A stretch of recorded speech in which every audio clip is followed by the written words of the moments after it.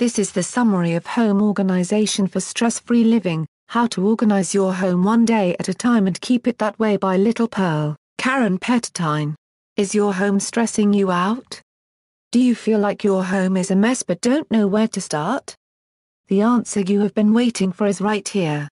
You deserve a beautiful, organized home and now you can finally have one.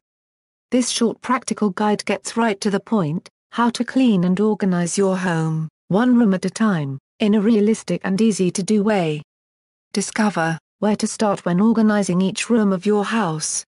Your personal organizational style and how to utilize it to tackle your most annoying dilemmas. Creative solutions to your organizational nightmares. Go to lists for help when organizing the toughest rooms, like your entry and kitchen. How to keep your home organized for good. Don't waste your time sorting through page after page of other organization books that offer impractical suggestions. Perfection is not the goal. With the help of this book, you will discover that keeping your home clean and organized doesn't have to be difficult. In fact, an organized home is the best way to keep your life stress free and the time you spend with friends and family enjoyable and relaxing. Buy your copy today and never again let clutter control your life. For more hobbies and home book reviews visit www.homebookmix.com.